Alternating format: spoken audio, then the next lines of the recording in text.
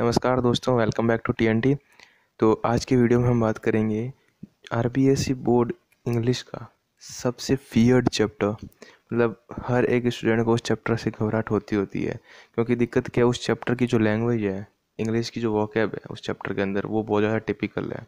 तो without using any guide book और a teacher you can't understand that तो अपन इस वीडियो के अंदर बेसिकली उस चैप्टर की जो थीम है और उसका क्या एक हिंदी एक्सप्लेनेशन हो सकता है उसको डिस्कस करेंगे। तो लेट्स स्टार्ट बेसिकली इस चैप्टर का नाम है थर्ड थॉट्स इसके राइटर हैं ईवी ल्यूकास अपन को उससे कोई मतलब नहीं है। नाम पे जाओ।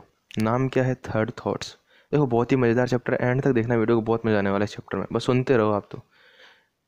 तो थर्ड थॉट्स नाम है। मतलब हमारे माइंड में जो विचार आते हैं मतलब कोई एक काम आपको सौंप दिया, उस काम को करने के दौरान काम तो आपको एक ही करना है। उस काम को करने से पहले आपके अंदर कितने तरह के थॉट्स आते हैं, उस थॉट्स के बारे में डिस्कशन होता है। पहला पॉइंट तो ये ले सकते हैं।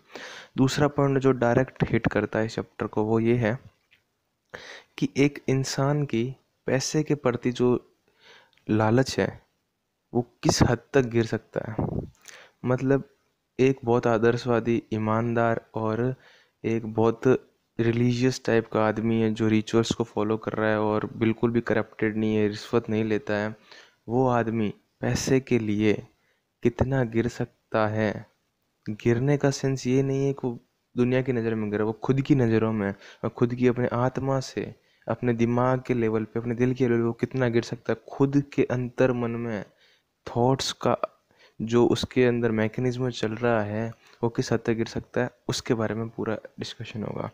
तो इसके अंदर ईवी लुकास ने अपने एक फ्रेंड की स्टोरी बताई हुई है कि स्टार्ट होता है सीन ऐसा होता है कि वो अपने फ्रेंड की बात बता रहा था। वो फ्रेंड बोल रहा है एक्चुअली इस पूरे स्टोरी के अंदर।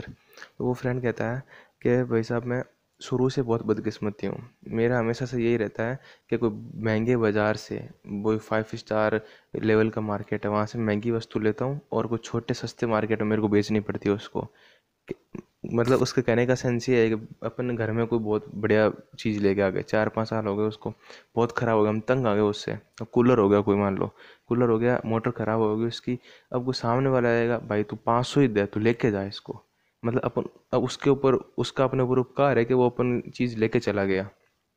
तो वो फ्रेंड उसका ये बोल रहा है कि मेरा बस ऐसे चलता है, यही किस्मत है कि महँगी चीज़ लाता हूँ, उसको सस्ते में बेच देता हूँ। मैं खुद ही परेशान हो जाता हूँ उस चीज़ से। मेरे को उससे इतना ज़्यादा प्रॉफिट होता नहीं और मेरे को बेचनी पड़ती उसको। पर एक दिन क्या हुआ, वो बोल रहा है, सूरज कहीं अपोजिट साइड से निकला है। एक दिन क्या हुआ, जब वो एक आर्ट स्ट्रीट में घूम रहा था मतलब एक आर्ट गैलरी थी, बहुत सारी पेंटिंग्स थी, उस गली के अंदर वो घूम रहा था तो वहाँ पे उसको एक स्पॉट हुई पेंटिंग जिसके अंदर टर्नर जो बहुत बड़े एक पेंटर थे या आप कह सकते ड्राइंग आर्टिस्ट थे, उनकी पेंटिंग उसको स्पॉट हुई। तो टर्नर का नाम बहुत बहुत बड़ा नाम था इतिहास के अंदर, अभी भी है वैसे नाम उनका। तो उसकी पेंटिंग्स होती वो बहुत एक्सपेंसिव बिकती हैं। तो उसने जो बेचने वाला था ना सेलर वो क्या था, एकदम नॉर्मल सा, एक फ़कीर टाइप का आदमी था, ऐसे पेंटिंग लेके आ गया और बेच रहा था। तो उसने उससे एक क्रॉस क्वेश्चन किया ऐसे व्यंग्यात्मक रूप से बस उसने कहा चेक तो करते हैं, इसको पता तो है ना, ये टर्नर की नहीं है? तो उसने उससे पूछा तो उस बेचने वाले ने कहा कि, भाई साहब, ये दस सीलिंग की है, दस सीलिंग की है पेंटिंग क्योंकि ये मेरे को पता नहीं है टर्नर की है नहीं है टर्नर की होती तो मैं लंदन जाके आपको पता करके वहाँ पे बेच देता मैं। मेरे को ये पता नहीं, अगर आप अभी ले अभी ले रहे हो तो दस सीलिंग दे दो आप मेरे को। दस सीलिंग मतलब दस रुपया, दस पैसे आप जो भी बहुत कम अमाउंट समझ सकते हो, है ना? तो उसने भाई दस सीलिंग का दे के जो उसका राइटर का दोस्त है, दस सीलिंग देके और उसने पेंटिंग को ले ली। और उसने उस पेंटिंग को परख लिया था कि टर्नर की पेंटिंग है तो उसने उस टर्नर की पेंटिंग को पचास पाउंड में बेच दिया। मतलब राइटर को फ़ायदा कितना हो गया? उनचास पाउंड और दस सीलिंग का फ़ायदा हो गया। पचास पाउंड बेचा तो कितना सीलिंग उनचास पाउंड और चालीस सेलिंग का फ़ायदा होगा सॉरी है ना? मैथ्स अपनी थोड़ी कमज़ोरी रही है शुरू से। इतनी सीलिंग का उसको फ़ायदा होगा पर फ़ायदा नुकसान अपन को पेपर में कोई पूछता नहीं है। मतलब उसको अल्टीमेटली उस पेंटिंग को बेचने से टेन टाइम्स या फोर्टी टाइम्स फ़ायदा हो गया उसको। फिर क्या चलते हैं? अब स्टार्ट होता है, असली चैप्टर की जो थीम है वो। ये गाइड आपको पूरा एक आउटलाइन समझ में आ गई होगी, भाई साहब, भाई, उसका दोस्त था मार्केट में गया, उसको टर्नर की पेंटिंग दिखी, उसने दस रुपये में दे के और तो दस रुपये दे के उसको ले ली और पचास रुपये में उसको बेच दी। उसको इतने का फ़ायदा हो गया, फ़ायदा हो गया। अब फ़ायदा होने के बाद में उसके माइंड में उन चौबीस घंटे या जो अड़चास घंटे इस चैप्टर में हैं, उन दौरान किस किस तरह के थॉट्स आते हैं कितने कितने बार वो पुनर्विचार करता है, एक ही विचार को बार बार सोचता है, उसको एक्सप्लेन करेगा तो अब चलते हैं अपन लेखक का जो दोस्त है, उसके अंतर्मन की ओर। कि भाई, अंतर्मन ने क्या क्या सोच रहा था इस दौरान? तो भाई साहब, लेखक लेखक का दोस्त सोच रहा था, जब भी वो रात को क्या कर पे, उसने सोचा कि भाई पचास रुपये में मैंने बेची है, इतना उसका मुनाफा, मेरा इतना मुनाफा हुआ पहली बार इतना बेनिफिट हुआ है। तो एक्चुअल में ली तो मैंने उस, उसी से थी, जो बेचने वाला बैयर था, जो फ़कीर टाइप का आदमी था, मैंने उससे ली थी। तो उसका भी इसके अंदर हक बनता है फिफ्टी परसेंट हक, उसका भी बनता है। तो उसने क्या, पच्चीस रुपये मैं उसको भी दूँगा इसमें से। तो उसने एक लेटर लिखा कि मैंने लेटर लिखा उस फ़कीर के नाम, जो बेचने वाला था, उसके नाम उसने लेटर लिखा कि भाई साहब, मैंने ये पेंटिंग ली थी और टर्नर की थी तो मैंने इसको इतने मुनाफे में बेच दी। तो मैं इसमें से इतना मूल्य आपको देना चाहता हूँ। तो उसने लेटर लिख के रख दिया, उसने कहा, ये मैं उसको दे के आऊँगा। फिर उसके वो आदर्शवादी था, ईमानदार था, तब तक ये थॉट आ रहा था उसके माइंड में। ठीक है, फिर उसके माइंड में थोड़ी पैसे के प्रति लालच आना शुरू हो गया। तो उसने क्या सोचा भाई साहब? बस वो निक्कमापन होता है ना। अपन के हर एक माइंड में आता है, भाई, दो सौ ले लिया उसे तो जब तक मांगेगा नहीं, तब तक देंगे नहीं उसको, है ना? तो उस टाइप का थॉट प्रोसेस उसके माइंड में चलने लगा। उसने क्या कहा, भाई, पचास रुपये मैंने कमा तो लिए, पर उसका हक क्यों बनता है इसको लेने के अंदर? उसका क्या हक है? उसके, उसको तो पता ही नहीं वो जिस चीज़ को बेच रहा है, वो माल बेच रहा है, उसको खुद को ही नहीं पता है। मैंने परखा है टर्नर की पेंटिंग है ये तो। वो खुद से ये बातें कर रहा है, सोच रहा है मन में। वो सोच रहा है कि मैंने परखा है टर्नर की पेंटिंग उसको तो कुछ पता ही नहीं था।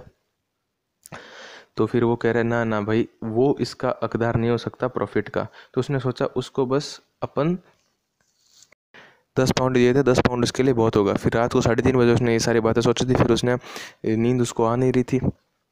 कंटिन्यू सोच रहा था, बस उसके बारे में जो बेचने वाला था, उसके बारे में उसको कितना प्रॉफिट दूँ, मैं कितना रखूँ, इस बारे में सोच रहा था। फिर उसने एक बुक उठा ली बुक रैंडम बुक उठा के बैठ गया, आँख बंद करके फिर सोचने लग गया। फिर उसने सोचा, मैं उसको दस पाउंड भी क्यों दूँ?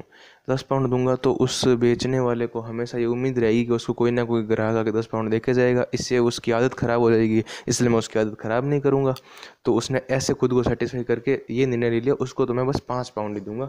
देख लो, कहाँ से ये फिफ्टी परसेंट से पाँच पाउंड तक आ गया।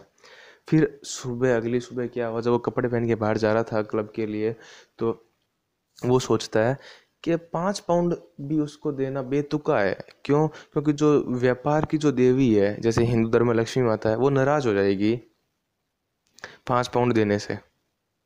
क्यों नाराज़ हो जाएगी? कि जो व्यापार है उसके अंदर भावनाओं का तो कोई खेल ही नहीं है। भावनात्मक तो होना ही नहीं चाहिए मेरे को बिल्कुल भी। ये इतने बड़े बड़े शहर में जो व्यापारी बनते हैं ये लक्ष्मी जी की पूजा कर रहे हैं जो व्यापार की देवी उनकी पूजा करके तो कर, बनते हैं। अब मैं उनकी व्यापार की देवी की बात नहीं मानूँगा तो मेरे का मेरे पास पैसे नहीं आएगा। और अब कभी कभी तो मेरे पर कृपा करती है देवी जी। अभी उन्होंने मेरे पे कृपा की हुई और मैं इसको पाँच पाउंड उसको बेतुका दे के मैं मेरा नुकसान करा दूँगा और माता जी मेरे ऊपर तिरस्कार करेगी। तो उसने कहा मैं माता जी माता रानी को माता रानी को नाराज़ नहीं कर सकता इसलिए मैं पाँच पाउंड नहीं दूँगा उसको। एक इंसानियत या मान्यता के तौर पर एक पाउंड उपहार के रूप में ज़रूर दूँगा। तो वो एक पाउंड उपहार के रूप में दे, दे, देने की कोशिश करता है उस कोशिश में रहता है तो एक चेक पे एक पाउंड डाल के और एक लेटर लिख देता है। ये ये वो स्टार्टिंग में जो उसने लिखा था ये मैटर है मैंने इतना कमाया तो एक पाउंड मैं तेरे को दे रहा हूँ। तो फिर वो क्लब के अंदर जाता है एक पाउंड अपना ऊपर वाली शर्ट की जेब में डाल के और वो लेटर साथ में डाल के चला जाता है। उसको लेटर को उसको पोस्ट करना होता है डाक डाक से डाकघर से, है ना?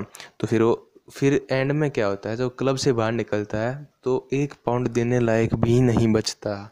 वो उसने जो पचास पाउंड कमाए थे, वो सारे के सारे, वो कशीनो मतलब जुए के अंदर ख़त्म कर देता है और एक पाउंड भी देने लायक नहीं बचता।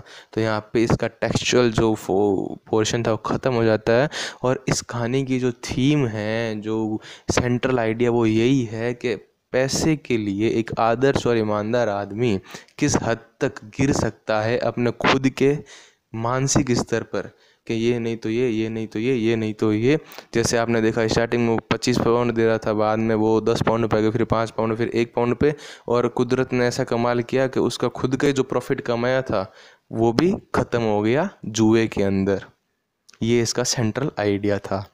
अब आर बोर्ड में इससे जो क्वेश्चन आएगा, वो आएगा जो उसने स्टेटमेंट दिया था, व्यापार के अंदर भावनाओं का कोई रोल नहीं है है ना?